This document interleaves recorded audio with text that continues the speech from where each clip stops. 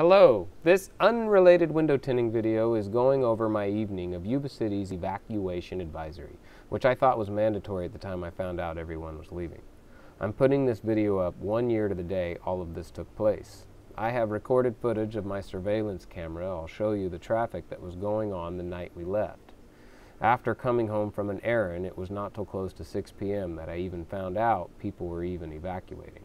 When Liz told me, I looked at the monitor and it did seem strange to see so much traffic on a Sunday night.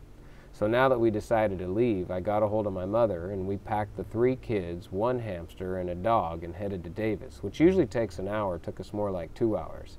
This is the radio news report we listened to in the car just after we got on the road. Okay, the latest information that I've received is that uh, when this situation started to develop, and the need to evacuate people became apparent, the Department of Water Resources uh, began to take uh, measures to try to prevent the catastrophic failure of the what is being termed either the uh, the auxiliary or emergency spillway. I want to make it clear that the actual dam is not in jeopardy. Those measures included was increasing the uh, flow down the spillway that was damaged a couple of days ago to 100,000 CS uh, cubic feet per, uh, per second in an effort to lower the lake level uh, below the uh, threshold of the uh, auxiliary emergency spillway.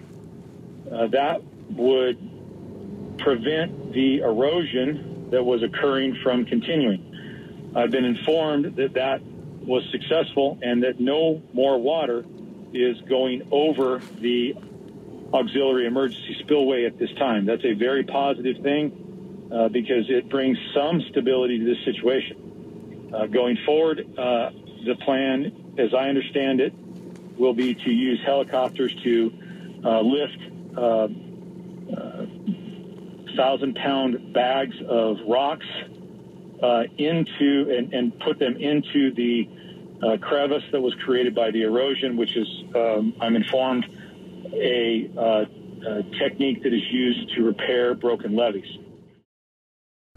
Okay, so now we got our things together in just under an hour, but we really couldn't come up with a lot of things to bring but just some clothes. We put Brittany's car in the garage and took off down Railroad to Bogue and then got right onto the highway and luckily didn't need to stop for gas. So in just a second, this is us going down Bogue Road to get on the highway. And this kind of sums up my overall harmless adventure that night. But I do have a news clip to show here in a minute that explains the whole thing in better perspective that cleared things up a lot for me. Now I know this event has affected people way, way, way more negatively for them, but this is just something I wanted to share. So thanks for watching let's try and gain a little perspective on this. First of all, take a look at the map. We all know where Sacramento is. You'll see that obviously on here. The town of Oroville is about 70 miles north of Sacramento. Take you about an hour to drive up there with no traffic.